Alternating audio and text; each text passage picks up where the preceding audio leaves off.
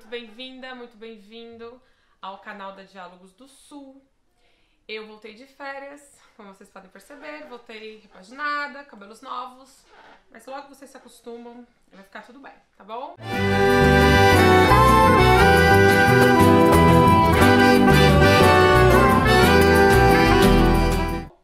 Então, hoje nós estamos aqui com a Elide Helena, a gente que é da União Nacional dos Estudantes da Uni, e a gente vai conversar um pouco sobre a questão da educação no Brasil, sobre as lutas que o movimento estudantil está travando, estão, as lutas que estão sendo travadas pelo movimento estudantil nesta conjuntura brasileira. E eu peço que você se inscreva no nosso canal, que você ative o sininho de notificações no YouTube, siga, acompanhe a gente nas redes sociais. A gente está no Facebook, no Instagram, no Twitter, no WhatsApp. Então, para seguir, para é, receber nossos conteúdos pelo WhatsApp, tem todas as informações aqui embaixo, tanto no YouTube quanto no Facebook, tem aqui as informações. É, você recebe nossos vídeos, recebe nossos conteúdos, reportagens, análises, tudo aí.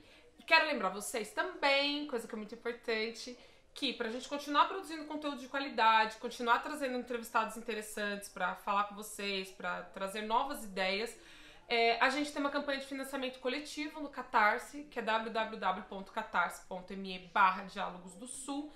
É esse financiamento, é o apoio é, das pessoas de, do, da nossa audiência que nos ajuda a fazer isso acontecer, a comprar equipamento, a pagar salário, a comprar água, a fazer tudo isso. Então, é, se você tiver condição, pode ajudar com pouco, pode ajudar com muito, pode ajudar com um montão, mas o importante é colaborar, porque a gente sabe que uma imprensa livre, independente é fundamental, como a gente tem visto aí com os fatos recentes da Vaza Jato, por exemplo, no país. Bom, dito isso, vamos lá para nossa conversa hoje. Elida, muito obrigada por ter aceitado vir aqui conversar com a gente. É, bem, para começar, eu gostaria que você desse um panorama pra gente, é, sucinto, possível, de como tá a questão hoje da luta da Uni, porque a Uni tem sido uma das entidades mais atacadas por, por esse governo, né? Então virou assim quase um palavrão, ah, é da Uni. Então como que é, como que vocês estão tratando isso? Quais são as lutas que, principais que vocês estão travando hoje? Bom, a Uni é é uma entidade de representação nacional né, dos estudantes, tem mais de 80 anos de história e não é de hoje também que trava importantes lutas, né? É, os estudantes, a juventude brasileira tem uma participação muito protagonista, muito ativa em momentos políticos, enfim, como esse que a gente está vendo agora, de mais acirramento, né? De mais disputa da sociedade, né? E desde é, das eleições, né? Do, do ano passado, 2018, é, que a gente vinha denunciando, né? Qual era o projeto que estava colocado, os projetos políticos que estavam sendo apresentados nas candidaturas, né? Então, a UNE no segundo turno apoiou, né, é, formalmente a candidatura de Haddad por compreender né, o que representava o projeto na candidatura de, de Bolsonaro, que acabou sendo vitorioso, né, a todo um contexto político, né, é, social que, que envolve essa vitória, é, mas que desde lá a gente já denunciava também que o que é esse projeto, né, de uma e aí tem a ver com a movimentação internacional, né, tem a ver com a recomposição do imperialismo no continente latino-americano, né, da crise mundial, enfim, que precisa recompor as suas taxas de lucro, então né, re renovam suas ofensivas aqui no nosso continente, né, no sentido de é, explorar as nossas riquezas, de pegar as nossas riquezas para uhum. né, levar para outros países, enfim, super explorar os trabalhadores do nosso país e é na verdade isso que, que a gente está vivendo, né, a recomposição do neoliberalismo, assim, né, a diminuição da capacidade do Estado também de intervir é, na realidade, etc. Então e nesse contexto se insere também a educação, né? E para que isso seja possível, né, há também uma ofensiva contra a organização dos trabalhadores, por isso que é preciso criar, né, um ambiente também mais conservador. E, é por isso que a gente vê ideias né, mais conservadoras que a gente há algum alguns poucos anos atrás a gente não via com tanta força na sociedade, né? Então, é, não é à toa esses ataques, né? É, ideias mais conservadoras, mais racistas, machistas, né? Enfim, porque precisa criar esse clima na sociedade, né? De que os trabalhadores sejam contra, né? A classe trabalhadora seja contra essas ideias para que eles não queiram se organizar e não entendam que de fato significa a implementação dessa agenda neoliberal né, no, no, nosso país. E a educação é também um processo de disputa política importante na sociedade, né? Quando se acirra essas contradições, é, a luta política, né, enfim, as elites dominantes precisam de um de ferramentas né, de controle ideológico e a educação vem um pouco nesse sentido, assim, né? Então, uhum. disputar os conteúdos, né? É, da implementação desse programa conservador também na educação, né? Por isso que a gente vê é, o Escola Sem Partido, a reforma do ensino médio, né? Mais recentemente também os ataques à universidade, então um processo amplo, né? Não só as universidades brasileiras, mas também na na educação básica, né? Então são ataques tanto do ponto de vista do financiamento das escolas, né, com os cortes recentes que nós temos assistido, como do ponto de vista ideológico também, uhum. né? O escola sem partido, é, a própria reforma do ensino médio que mexe também na, na grade curricular, nos conteúdos, é, que é para isso, né? Uhum. Para também tirar essa nossa capacidade de tanto de mobilização, de organização, mas de pensar, né, que a educação também cumpre o seu papel na sociedade, que é de pensar o desenvolvimento do país, é pensar os problemas e as resoluções dos problemas históricos no nosso país, assim. Uhum. Então, é por isso que eles também atacam as organizações. E por a UNI ter um legado é, importante na luta, sempre se posicionou contra o contra o nazifascismo, né? No próprio período da ditadura militar no país, construiu um processo de resistência fundamental, na campanha das diretas, sempre se colocou com muita força, né? Nos momentos decisivos da nossa história. Eles sabem tanto da nossa capacidade que nos atacam, né? Nesse sentido, assim. É, uma das questões não é a mais recente, mas uma das questões que gerou um amplo debate na sociedade e teve bastante rechaço foi e também adesão, infelizmente, foi a questão do escola sem partido. Como que a Uni é, não é exatamente uma questão universitária, né, do, do, ensino, do ensino básico, médio e fundamental, é, como que a Uni está vendo isso e vocês estão pensando, estão fazendo algumas ações? Como que vocês estão encarando isso para tentar, não sei, fazer o debate na sociedade? Como que está essa questão? É, a gente acaba construindo, ajudando que é isso, né? Um debate, claro, que é de interesse da sociedade como um todo, mas que né, tem nuances diferentes para a vida universitária, assim. E óbvio que a gente estimula o debate, né? Com a nossa tarefa também de mobilizar e de uhum. disputar a ideia da sociedade de que a escola sem partido é, na verdade, tolher a capacidade de criatividade, de conhecimento. Então, é, acho que é um pouco dessa nossa tarefa, né? Assim, então, junto com os setores de educação, os professores, a própria UBS, né? Que é a União Brasileira de Estudantes Secundaristas, que tem, né? É, acaba assumindo um protagonismo maior nessa questão da escola sem partido, mas que a gente tem também a nossa tarefa de disputar, né? De denunciar o que significa escola sem partido, contribuindo também nesse debate mais amplo na sociedade, de mobilização, né? Uhum. né? De ajudar a mobilizar contra né, o absurdo que é a escola sem partido. Uhum. E a gente vê agora, aí mais recente, né? É, eu até fui surpreendida no retorno das férias, que eu não estava sabendo, essa questão do Futurice. É, como que vocês estão avaliando esse debate e qual, qual é a posição da Uni? Como que vocês pretendem se colocar nesse debate? Bom, o Futurice, ele se coloca é, nesse bojo mais geral, né? De um projeto neoliberal uhum. para a sociedade que retira os direitos, né? É, põe em xeque a nossa soberania nacional e que a educação vai ser atacada, né? Nesse sentido. Então, o Futurice é um projeto que visa, né? Enfim, tem a ver também com o financiamento, é, porque acho que também vocês devem estar acompanhando nesses né, últimos cortes, a própria PEC 55, né, que bloqueia os investimentos durante 20 anos nas áreas sociais, estão é, deixando as universidades em numa situação financeira muito difícil, né, muito complicada. Então, é, eles apresentam esse projeto como uma alternativa de captação de recursos. Então, uhum.